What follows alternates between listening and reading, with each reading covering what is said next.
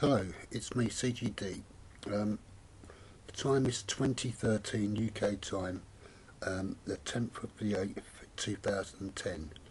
Um, this piece is called Suicide, and uh, the reason why is that um, it occurs to me that HMP Brixton Prison have done their research into suicide um, and what types of suicide uh, attempts or completions there actually are.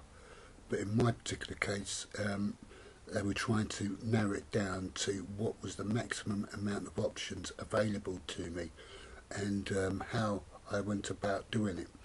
Now, um, while I was in, in custody, in prison, the options would have been one, to hang yourself, two, to cut your risk, three, possible overdose, but the possible overdose would be um, you'd have to be able to get your hands on substances, legal or illegal, in order to do that.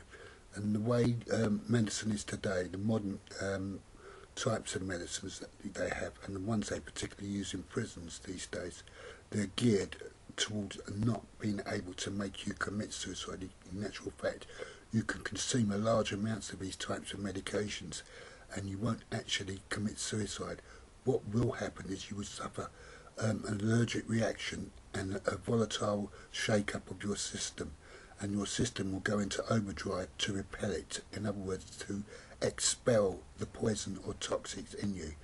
What happens is you become violently ill, you start vomiting.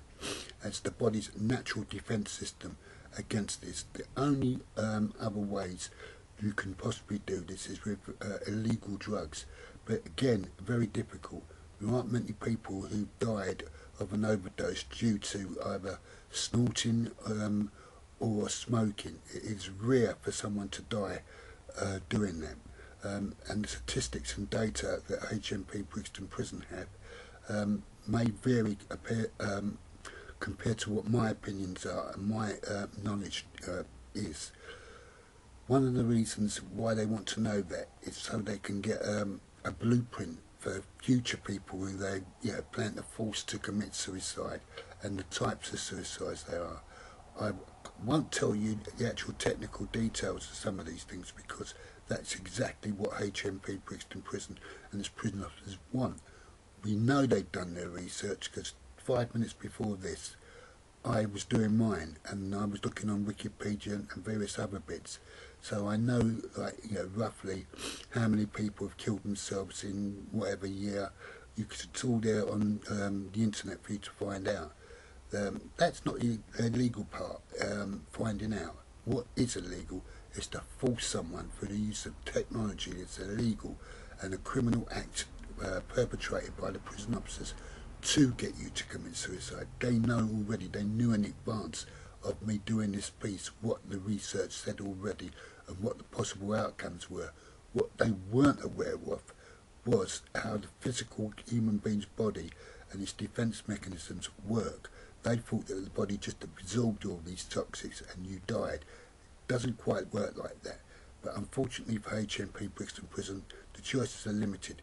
Hanging, cutting your wrist, um, one form or another, some sort of intoxication, or unless you get broken glass or something, so, or a razor blade or something in, in your system um, that will cut its way through your, you know, your vital organs or, you know, arteries or things like that.